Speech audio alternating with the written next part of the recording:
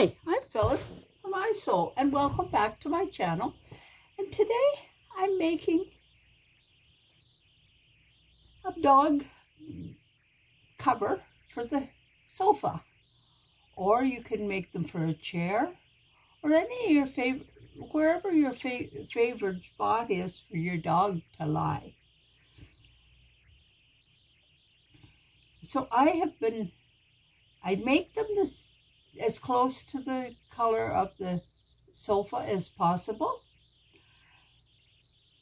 And this, this was, this color, I this I used for a chocolate brown leather one. And it really looks nice on it. It just has a little dot, but it seems to blend right in to the cover of the sofa. Now what I start with two pieces of fabric, the size I want. If it's a chair, I'll it'll probably be 25 inches. Or if it's a sofa, I mean a love seat, it'll probably be 45. If it's a full sofa, it may be 72 or 80. But what I do is I cut two pieces the same length. Now, I you wouldn't have to have them both the same. You could use a different fabric on the back as on the front. Uh, and then I cut a piece of fleece. The batting don't seem to hold it firm enough and they want to bunch up when you go to, when the dog gets on them but this seems to hold them flatter. So the fleece gives you a nice piece. So you make your sandwich out of the length and the width you want. And then I quilted it down the center, got the center line down the center, and then worked out from each side.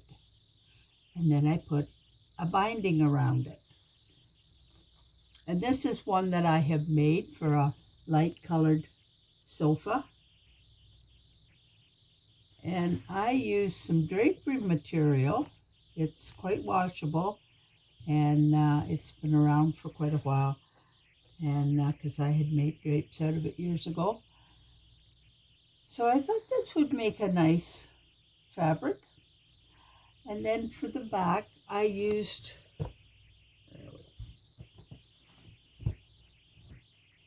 for the back I used this waffle fabric.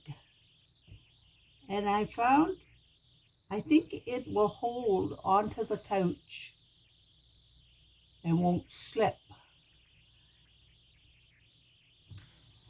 And then I quilted in quilted it in lines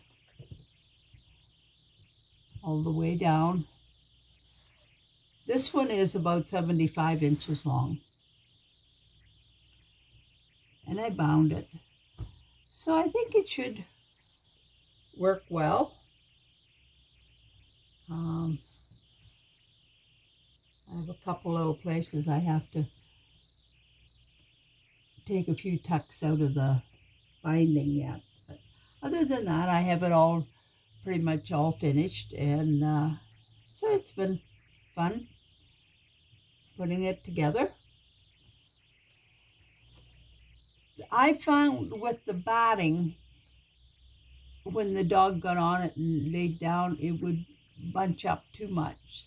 So that's why I went with the firmer fabrics and more quilting on it.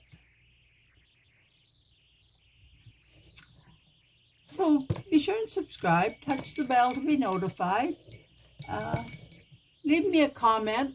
Tell me how I'm doing. Um, touch the bell. Like, or touch the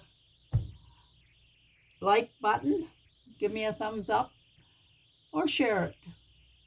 If you have a friend that you go to her place and you come home with dog hairs, maybe make her one.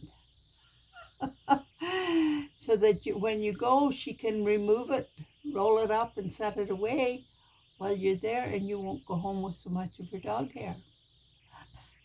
Anyway, thanks for watching. Bye now.